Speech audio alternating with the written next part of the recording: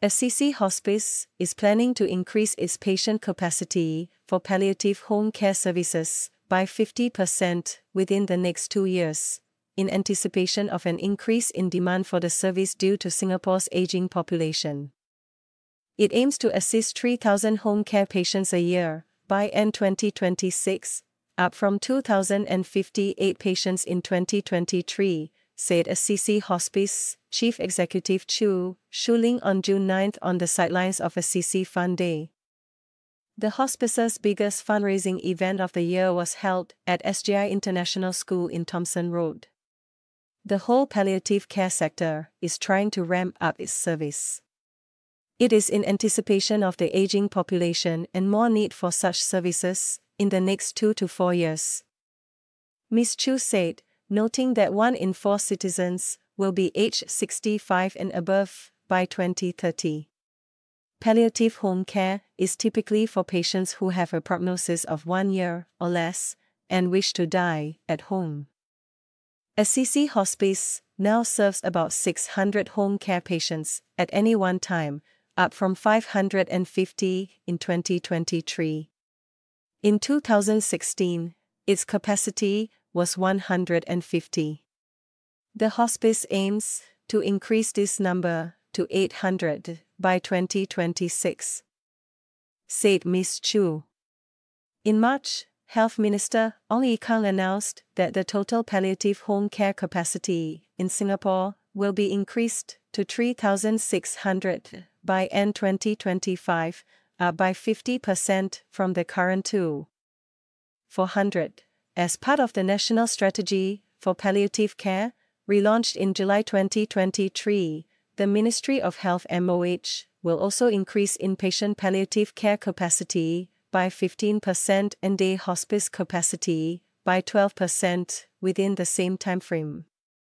The total increased capacities will be about 300 inpatient beds and 140 day hospice places by end 2025 palliative home care is typically free or at minimal cost due to government subsidies and charity dollars.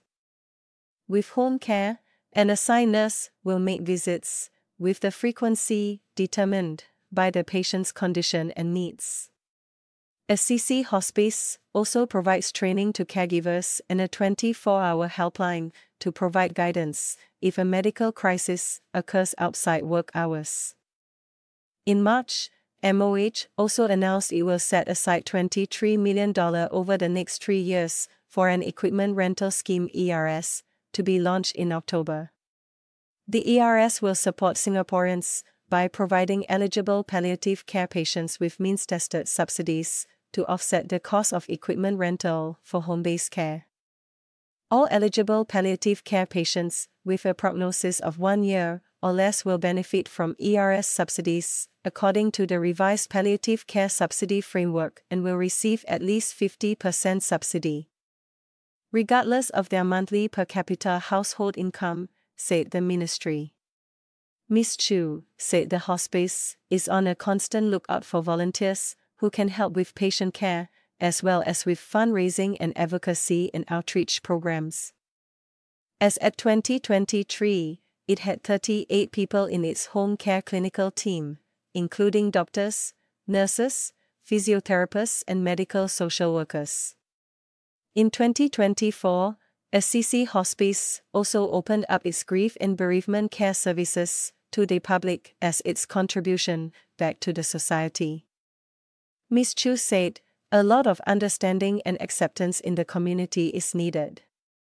So, we started off by offering a grief cafe, where caregivers, not necessarily of our own patients, can come and speak with other people who have gone through the same thing. So that they build a community. Other services include individual counseling and support groups.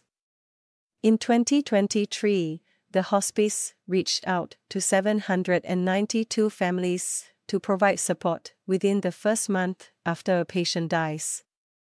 And 562 counseling sessions were provided. At the Assisi Fun Day, property firm City Developments Limited and its business partners raised more than $200,000 from a challenge to transport over 100 bags of rice, weighing more than 1. 000 kg in total, across 30 m, within 8 minutes. Assisi Hospice aims to raise $1 million from the carnival, which will go towards the different initiatives. More than 10,000 people turned up for the carnival. Including the guest of honor, Minister in the Prime Minister's office Indranee Rajah, and Assisi Hospice's patron, Miss Ho Ching.